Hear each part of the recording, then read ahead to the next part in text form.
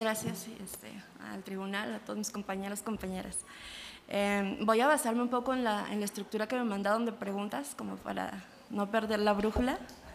Eh, y, bueno, voy a hablar un, poco de mí como para, entendiendo que, es como lo que nos sucede a varios, ¿no?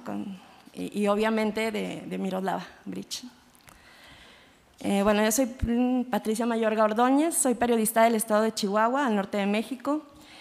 Eh, yo he vivido en una entidad con un largo historial de actividad de narcotráfico, tanto en la zona fronteriza como en la Sierra Tarahumara, donde cohabitan cuatro etnias indígenas fuertemente golpeadas por la violencia y la impunidad, y también habitan comunidades mestizas con una cultura serrana en un abandono eh, histórico gubernamental.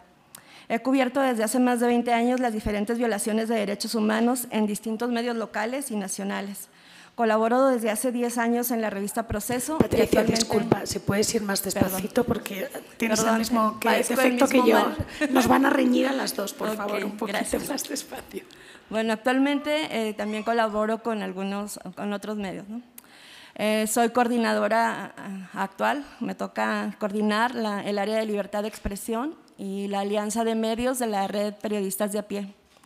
He participado desde 2005 en diferentes organizaciones y redes de periodistas con el fin de impulsar nuestra capacitación y para aprender a protegernos. En 2012 confundamos la Red Libre Periodismo de Chihuahua eh, con otras compañeras y compañeros de Chihuahua, de la mano de la Red Periodistas de a pie y del surgimiento de otras redes locales como la Red de Periodistas de Ciudad Juárez. Actualmente la red Libre Periodismo ya no existe, pero un grupo de compañeros y compañeras que la cofundamos creamos un medio independiente que se llama Raichali desde hace cuatro años. Esto significa palabra en idioma rarámuri, porque nuestro interés es eh, cubrir situaciones invisibilizadas por la corrupción y la impunidad en la Sierra Tarahumara y en otras regiones rurales como la desaparición forzada, el desplazamiento forzado, la tala y bueno, las consecuencias del extractivismo. En el 2 de mayo del 2017 salí del país. Estuve exiliada por tres años como consecuencia del asesinato de la periodista Miroslava Bridge Belducea, quien era corresponsal de la jornada y también trabajaba para el norte de Juárez. Regresé al país en marzo de 2020, que coincidió con el confinamiento por la pandemia de, de, de COVID-19 y después de un mes y medio de permanecer aquí en Ciudad de México, eh, bueno, la pandemia agilizó mi, mi retorno intermitente a, Chihuahua. Les voy a hablar ahora de los riesgos en los que ejerce el, el gremio en Chihuahua. Uno de los principales problemas que, que, hemos vivido y que yo observo, por lo menos de manera más fuerte durante los últimos tres gobiernos estatales, es la falta de regulación de publicidad oficial. Se han destinado cantidades millonarias para amordazar a los medios, casi a la totalidad de los medios. Eh, el gobierno anterior, o sea, el 2016 a 2021, eh, quitó gran cantidad de, este, de, este, dinero, pero siguió dando de manera discrecional esta publicidad oficial a algunos medios, ¿no? de manera selectiva. Esta forma de utilizar, a los, de, de utilizar la publicidad oficial como una, como una moneda de cambio eh, ha generado frustración en, en, el gremio, o sea, porque una cosa son los medios de comunicación, otras somos quienes ejercemos dentro de estos medios. Ha generado mucha frustración, mucho, este, un, un nivel bajo de periodismo, eh, desde, desde entonces. Y bueno, Miroslava era un ejemplo de, de, lo que se podía hacer cuando se hacía buen periodismo. ¿no? Ella trabajaba para un medio nacional, la jornada, que le daba posibilidad de, de publicar lo que estaba sucediendo. Eh, esto también, bueno, esto obviamente, eh, el tener esta, el problema cuando se controla los medios con la publicidad oficial no es tanto lo que se obliga a decir, ¿no? no es tanto lo que el manejo de la imagen del gobernante en turno, sino lo que se deja de decir. Y esto provoca eh, esta pandemia de la desinformación de la que Chihuahua también es parte. Otro problema que existe todavía es que ha escalado la narcopolítica. O sea, vemos ahora, antes cuando Miroslava le tocó eh, evidenciar la narcopolítica en el Estado parecía un tabú, ¿no? O sea, era un escándalo hablar de, narcopolítica. Ahora ya se habla en campañas políticas, se habla en todos lados, ¿no? Ya hay personajes que descaradamente ocupan alcaldías, eh, que descaradamente ocupan curules en el Congreso del Estado. O sea, ha escalado y esto también es un riesgo, tomando en cuenta que no hay garantías para nuestra seguridad y que hay una mordaza de los medios de comunicación, de casi la mayoría, para para no cubrirlo y para no decirlo. Y el problema también con el narcotráfico es que ahora ya no nada más cubriendo cualquier fuente periodística te topas con el narcotráfico, sino que el crimen organizado o estos grupos delictivos han diversificado sus actividades. Entonces ahora ya no solo controlan el trasiego, la venta y compra de, droga, sino actividades como, sobre todo eh, coludidas con las empresas extractivas. ¿no? Ya es un crimen organizado en colusión con, pues, con empresarios, eh, con la complicidad del Estado, ¿no? de, de, los diferentes niveles de gobierno, y, y, ya parece que los grupos armados están al servicio de estas empresas extractivas o viceversa. Controlan desde la tala de árboles, la siembra de monocultivos, hasta el tráfico de migrantes. Y bueno, en este contexto trabajamos y en este contexto también trabajaba Miroslava. Miroslava Bridge era y es un referente periodístico para su gremio, para el Estado y para el país, y ahora también para otras partes del mundo. Su personalidad era tan fuerte como el impacto de, su asesinato. Su asesinato impactó muy duro a, la misma sociedad de Chihuahua y al gremio. Era fuerte, era solidaria y yo puedo llamarla una mujer estratega, ¿no? Ella todo lo hacía con verse en estrategias. Ella jamás aceptaba prebendas de los gobiernos, ¿no? Cuando en Navidad se usa, no sé, regalarle un pavo a, los periodistas o el Día de la Libertad de Expresión algún obsequio, ella, eh, en caso de que alguien se atreviera a mandárselo, lo regresaba con un recado o ella personalmente iba y lo decía con un mensaje contundente, ¿no? De que ella no aceptaba prebendas. Además, tenía, como periodista tenía una gran agudeza para cuestionar el poder y para colocar en el fondo de sus notas, en el foco de sus notas, a los responsables de lo que estaba denunciando. Pero su pasión era cubrir la tarahumara. Ella era originaria del municipio de Chinipas. Es un municipio serrano que colinda con el estado de Sonora y que ella misma defendió con su vida. Cubría la corrupción principalmente en temas de medio ambiente, minería y pueblos indígenas. En el 2013, cuando liberan al, bueno, al narcotraficante Rafael Caro Quintero, empezó, eh, él regresa como a su terreno, ¿no? que es justo este, estos límites de Sonora y Chihuahua, como a, pues a luchar por, la, por el territorio, y empieza a ver en, en, Chinipas que en ese tiempo estaba aparentemente tranquilo, porque pues siempre ha sido controlado por, por grupos delictivos o por un cártel, ¿no?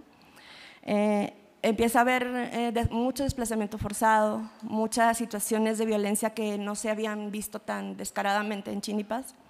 Y bueno, me toca cubrir a mí por mi lado, allá por, ella, por el de ella.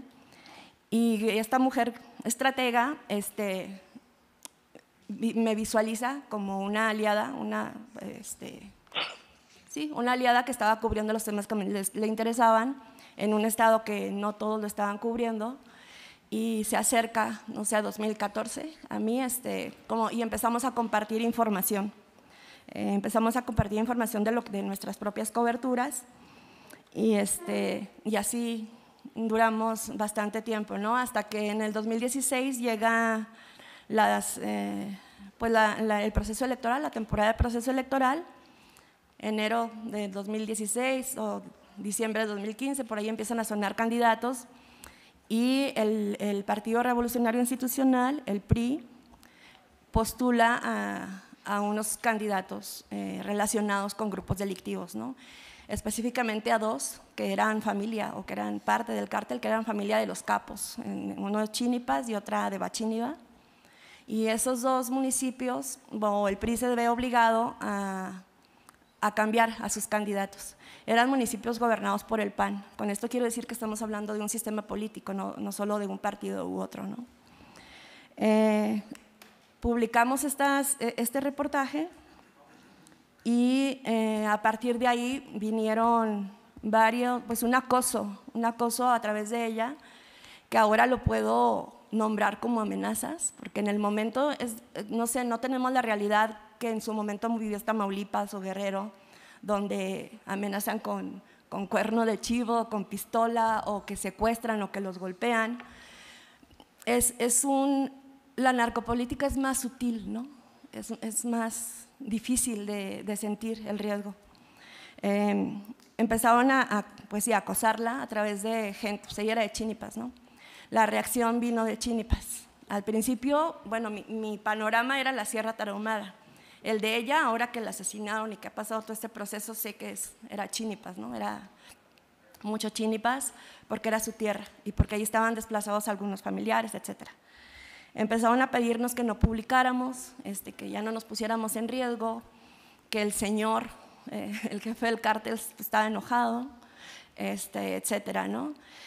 Un tiempo decidimos como bajar un poco la, intensidad de la cobertura eh, y esa fue cuando el PRI cambió de, candidatos y puso otros personajes no familiares pero cercanos al cártel. ¿no?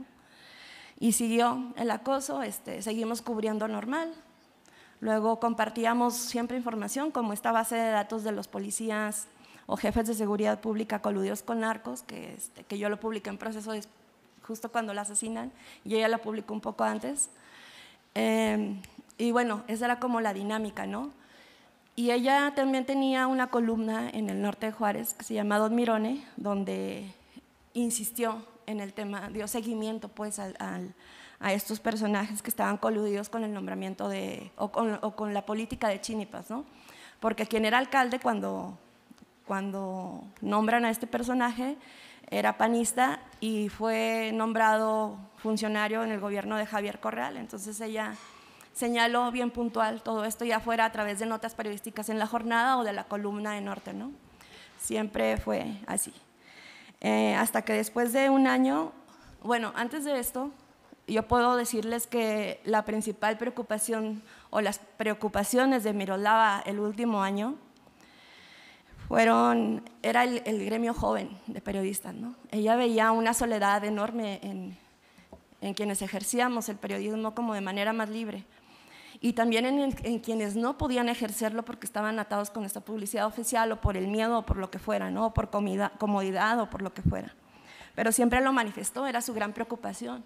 Miroslava no era de pertenecer o de buscar redes de periodistas, o sea, no, no le gustaba, no era como su estilo, pero este último año sí me preguntaba, sí se acercaba, sí participó conmigo y con otros compañeros en, en una reunión del mecanismo de protección para personas defensoras y periodistas. Eh, ahí ella expuso este, estas llamadas, estas ah, como amenazas que, que, estábamos o que estaba recibiendo y que nos implicaban a las dos. Eh, estaba como interesada en, en, conocer cómo era esto de la capacitación en seguridad digital, ¿no? Estaba como un poco más interesada en, en ahora a distancia lo leo y estaba oliendo el riesgo, un riesgo que a lo mejor yo no estaba dimensionando, ¿no? Y que, eh, pero ella, eh, a pesar de que ahora entiendo que olía y sentía el riesgo, que les digo, yo no dimensionaba, este, se ocupó de proteger a sus seres queridos. O sea, conocemos cómo ella pues, dejó protegidos a sus hijos, ¿no? Eh, dejó como muy en orden situaciones y, y me incluyo, me protegió, ¿no? que yo no conocí todo lo que ella conocía.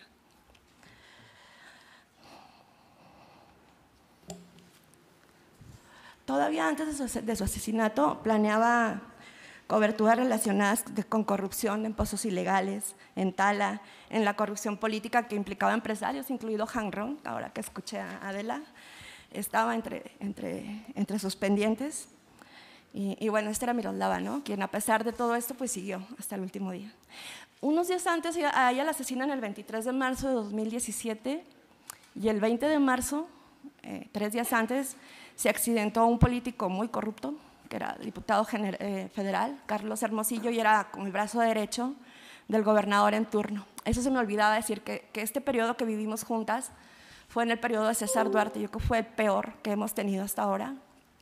Bueno, eso dice uno, pero luego vienen, como que se va acumulando lo peor, ¿no?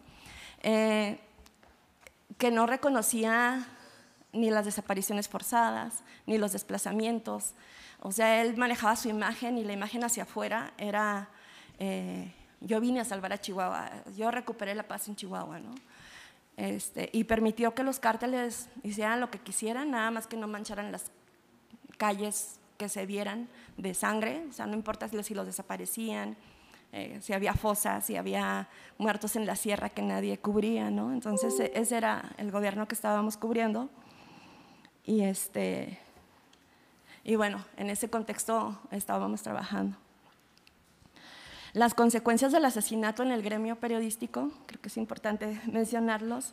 Eh, bueno, primero en, las preguntas venía un poco también, y, sí quiero mencionarlo porque creo que implica los efectos emocionales y judiciales que ha tenido, que tiene el desplazamiento forzado para muchos de mis compañeros y compañeras, ¿no? que, yo he tenido el privilegio de ser acompañada por eh, grandes amigos, amigas periodistas y este, organizaciones civiles aquí en México, en Chihuahua, en Oaxaca, en Perú y en Barcelona, donde me tocó estar este, que esa ha sido mi fuerza, ¿no? esa ha sido mi, forma de aprender a protegerme. Eh, nunca el Estado, nunca el mecanismo, nunca los gobernantes. ¿no? Eh, cuando asesinan a Miroslava, a mí me convencen de salir, justo estas personas que les digo expertos en, que me decían tienes que salir, yo no quería. Y el más interesado en que yo saliera era el que era gobernador, Javier Corral, que todos los días me decía, un poquito, a poquito, vete, ¿no? Pero parecía que ya me subieron al avión y, fueron los más felices porque jamás, jamás volví a saber de ellos, ¿no? O sea, ni un buenos días, nada, o sea, menos de cómo estaba mi situación. No, manosearon cuando les preguntaban mi caso o, o mi nombre, ¿no? No soy reconocida ni como testiga protegida, a pesar de que lo fui, o que supuestamente lo fui, no, no tengo la calidad ni, el trato de testiga protegida, tampoco de víctima. El mecanismo que accedí a entrar cuando recién eh, salí, cuando estuve aquí en México, y luego se interrumpe cuando sales del país, cuando regresaba de manera intermitente volvían a activar porque me ponían escoltas, me borró. O sea, yo no existo para, para el mecanismo, ¿no? O sea, no sé quién soy a nivel jurídico. Eh, te borran. Y así como te borra también, este, como las autoridades, sin querer, esto hablo del impacto emocional, te va borrando tu ciudad, ¿no? tu estado, porque ya no estás, vas teniendo, pues, o sea, se acostumbran a vivir sin ti, vaya. O sea, a pesar de que, hay dolor y, extrañan ¿no? y todo, ya no estás y, el mismo dolor los hace reconstruirse, ¿no? Nunca he dejado de cubrir Chihuahua, pero no es lo mismo, o sea, y eso lo digo como porque lo, siento, ¿no? Lo vivo y lo veo. Em, cambian los planes de vida tuyos, yo nunca, jamás en mi vida estaba eh, dejar Chihuahua. Eh, no sé si en un futuro lo iba a hacer o qué, pero nunca, no estaba en mis planes, cambia los planes de vida de tus hijos, que por lo menos yo elegí que cubrir y ponerme en riesgo, eh, mi hija no. Eh, de tu familia, ¿no? de quienes dependen de ti. Hay un pacto, este, y bueno, no es fácil tener un duelo o duelos eh, lejos de tu tierra, sin tus seres queridos. Hablo de mí para que entiendan lo que hay a nivel colectivo, porque yo no tengo la cantidad de periodistas desplazados, pero se cuentan yo creo que ahorita por cientos, ¿no? Este, y que no todos tienen el privilegio que yo he tenido de estar aquí, por lo menos, por ejemplo. Eh, eh, bueno, llega un momento en que, claro, te cuestionas seguir, te cuestionas todo, pero este privilegio de tomar distancia, de tener gente muy, muy valiosa a mi alrededor, me permitió pues, reconstruirme, ¿no? Luego en los retornos, que eso también quiero tocarlo porque ahorita se está dando mucho, sobre todo ahora que el mecanismo está empeñado en que retornen a sus estados los periodistas, las y los periodistas, y ponerlos en, en manos de los gobiernos estatales, que son uno de los principales agresores. Eso este, a mí se me hace brutal, ¿no? Este, que sí, claro, tienen que responsabilizarse los estados, pero habría que buscar otras, eh, otra dinámica y no poner en riesgo la vida de, personas, porque no son productos, ¿no? Eh, pero esto a nivel eh, como de las autoridades, pero a nivel emocional los retornos no son fáciles. Una ya no regresa igual, ¿no? Y eso no lo entienden, ni siquiera muchos aliados, no se entiende que no regresas igual. No se entiende que ya traes en la piel, en la mente y en la conciencia la vida. Lo que importa es vivir y tener mejores estrategias para seguir y exigir justicia, en mi caso por Miroslava y por todos los demás periodistas. Pero también para seguir viva y para seguir y para que siga viva pues mi hija, mi familia. En el caso mío, mi hija ya no la puedo sacar de Chihuahua, ¿no? O sea, ya ella aprendió a reconstruirse. Yo quisiera que estuviera lejos, quisiera que estuviera eh, en un ambiente más tranquila. Pues, o sea, lo que, lo que está haciendo ahora es lo que vio, ¿no? Está fuerte ahí y, y ahí está. Entonces sí te cambia totalmente el plan de vida. Yo no, no podría hablar de la vida de, de, todos los que han pasado por lo que yo he vivido, pero es un ejemplo. Eh, cambia todo, ya no te relacionas igual, o sea, ya no. Pero eh, eso dentro de lo aparente malo, ¿no? Porque también aprendes a, a mirar de frente el miedo, a enfrentar la culpa, a, a reconocer los odios, ¿no? La ira, este, y trabajarlo, o sea, no vivir con esto como una carga, sino trabajarlo a tu favor, porque se trata de regresar y bueno, en mi caso también pensaba si regresaba o no, yo siempre quiero salir corriendo a Perú ahorita, ¿no? Porque es el país que me refugió, que me reconstruyó, que, me, que aprendí a, a, vivir de nuevo, pero eh, regresar no puedes tampoco dejar de, de estar acá porque requieres mejores estrategias, ¿no? O sea, eso de estar lejos te hace tener más conciencia del riesgo de tener, de aprender a hacer análisis de riesgo, que ahora es lo, que estamos impulsando también desde periodistas de pie, a aprender a hacer análisis de contexto, a tener mejores estrategias, mejores protocolos desde los emocionales hasta los físicos y digitales, ¿no? O sea, eso creo que es dentro de todo lo que, de todo lo que han escuchado aquí, yo creo que eso es lo, la esperanza, ¿no? Este, que hemos aprendido a, ser más fuertes, a ser más estratégicos, más estratégicos, no todos, queremos llegar a todos, pero, y que nos hemos reconstruido. Pero no es, no, no es más fácil para los que se quedan en el territorio. Eh, de pronto imponen como mucha carga en nosotros porque somos los más afectados que nos vamos, o obviamente las familias de, quienes son asesinados, ¿no? asesinadas. Los que se quedan es brutal también, o sea, imagínense, se quedaron varios compañeros nuestros con la red libre periodismo quebrada, este, con la desconfianza del gremio, porque de verdad el, asesinato de Mirolao fue brutal, así quebró todo, ¿no? Eh, y se quedan intentando eh, que, el, gremio responda y cuando ya no respondía por el miedo, por la cooptación de sus medios, este, con el duelo de Miroslava encima, con, mi, con el gremio cercano que yo ya no estaba, ¿no? o sea, sintiendo que, que cualquiera puede haber sido, etcétera, ¿no? O sea, es, es muy, muy duro, entonces, y, y sin un acompañamiento, porque así como las familias de periodistas también de pronto sienten ese abandono, el gremio que se queda también, los vivos también se sienten porque de pronto importa mucho quienes son asesinados y que por supuesto que deben ser el foco y por supuesto que vamos a estar ahí, pero también importamos los que, seguimos vivos. Y bueno, a pesar de todas estas adversidades, han surgido medios independientes en Chihuahua en los últimos cuatro o cinco años, de compañeros y compañeras que dejaron sus medios tradicionales, justo por este contexto que les cuento, para ejercer de manera libre y que no aceptan o que tienen una conciencia plena de no aceptar publicidad oficial con todos los retos que esto implica. ¿no? Esto es también dentro de lo que se vive en el gremio de Chihuahua. Digo, hay, puedo hablar de tres gremios, de tres medios, este, eh, La Verdad de Juárez, Raicheli y Yo, soy, Yo Ciudadano, que también está en Ciudad Juárez. ¿no? Eh, entre las preguntas que me hacían, donde que me pasaron, o, como la guía, eh, me preguntaban qué se puede hacer para evitar el exilio de periodistas. ¿no?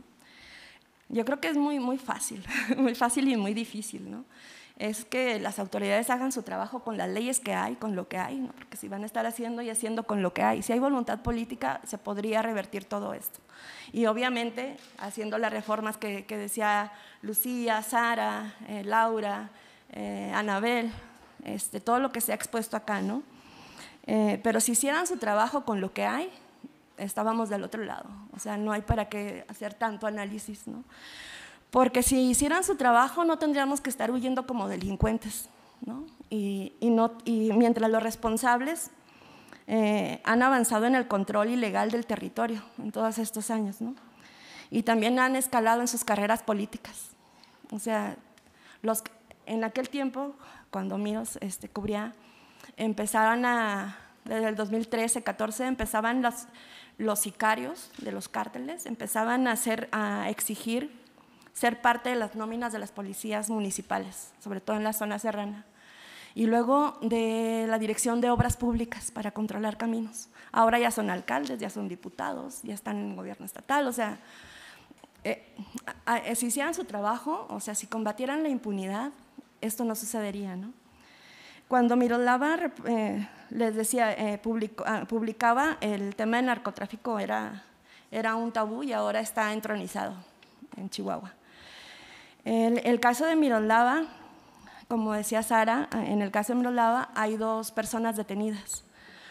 Una, Juan Carlos Moreno Ochoa, que le dicen el Larry, fue sentenciado a 50 años y era él quien, lo que se sabe es que era el, sicario, el jefe de sicarios que, ordenó este, o que planeó ¿no? que las estrategias, quién la vigilaba antes, este, quién actuaba, quién disparaba, quién manejaba, él era el jefe de ellos. Y las autoridades en su momento, que era Javier Corral, intentaron decir que ya era el autor intelectual y no pasaba nada. A pesar de que eh, nunca hubo duda de que a Mirolava la mataron por su ejercicio periodístico, incluido el gobernador Javier Corral, que desde el día uno lo dijo en rueda de prensa. Cuando sus cercanos panistas o sus amigos panistas estaban implicados, por mínimo tres, cambió el discurso. Entonces se intentó, manoseó el caso y demás. ¿no?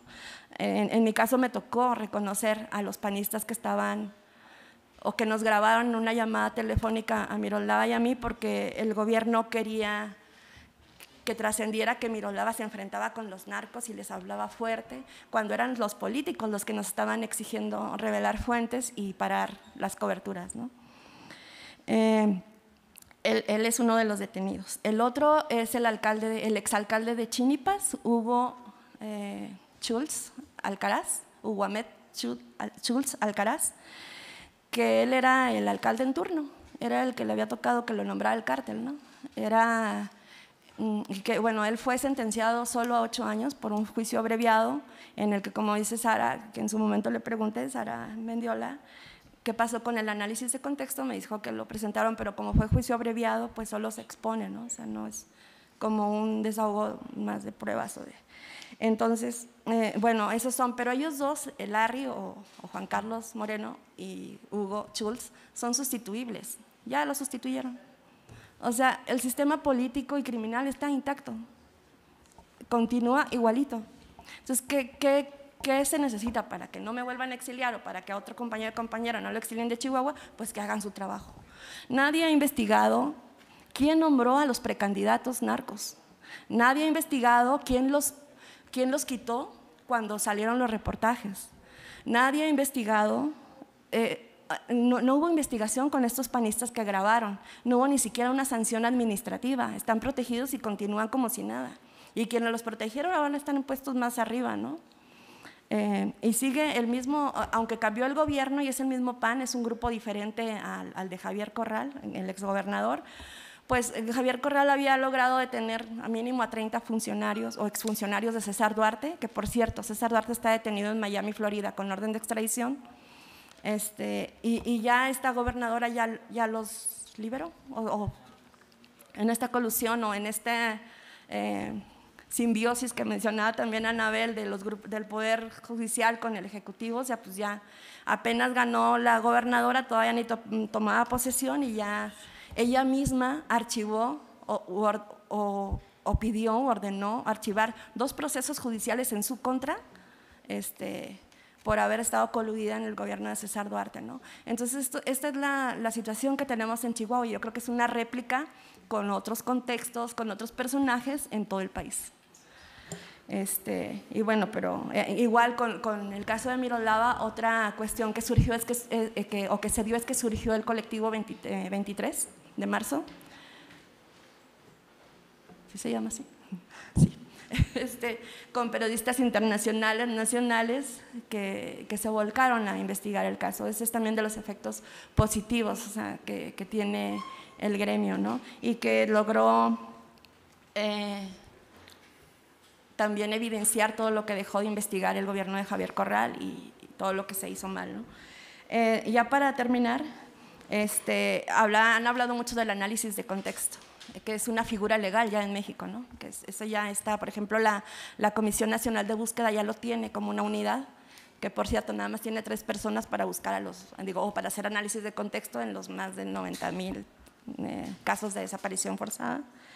Y en Chihuahua el año pasado se dio una sentencia uh, de, un, un, asesinato de un defensor de, indígena de territorio, Julián Carrillo, donde el tribunal, eh, eh, con este análisis de contexto, ordenó investigar a los autores intelectuales que afectaron no solo la vida de Julián y de su hijo, que también lo asesinaron, Víctor, sino de la comunidad. Fueron a declarar eh, desde el Triángulo Dorado hasta hasta Parral, donde se dio el juicio, alrededor de 20 indígenas en representación de su comunidad y se logró acreditar el efecto hacia toda la comunidad.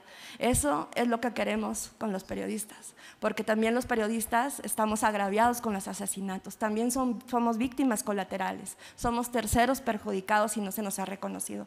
Es impenetrable eh, este, eh, tener acceso a los expedientes. Estamos a voluntad de, la familia que quiera, de las organizaciones que tienen la coadyuvancia y, y somos directamente perjudicados, afectaron nuestras vidas, afectaron nuestro ejercicio periodístico. Pues, no sé, hasta ahí le dejo. Muchísimas gracias, Patricia. No tengo preguntas. No sé si el panel tiene alguna pregunta. Si acaso. Tenemos jueces a seis horas de distancia.